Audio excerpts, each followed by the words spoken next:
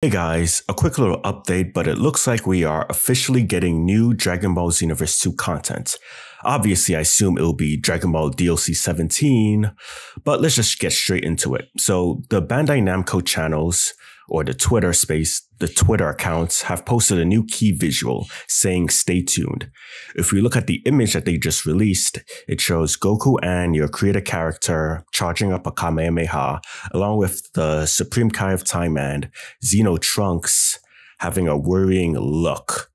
So I'm not sure what this is going to be about. More than likely, it's going to be about Fu. But in terms of additional characters, it kind of remains to be seen. Let's look at the um, information that they released on the official website. The hit Dragon Ball the hit video game Dragon Ball Xenoverse 2 celebrates its seventh anniversary this year. What's more, we have a surprising new piece of key art. Goku and the Avatar are both charging up a Kamehameha, and behind them we can see Trunks with a focused expression on his face and the Supreme Kai of Time. What could this new illustration mean? Personally, I think it means that we'll be getting new story mode content. Um, I also think we're going to be getting some new DLC characters, but I have no idea what we'll be getting in terms of DLC.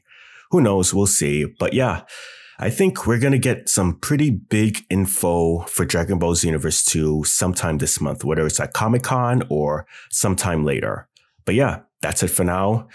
DLC 17 is on the way. We it's looking positive for Dragon Ball Xenoverse 2. Anyway, take care, guys.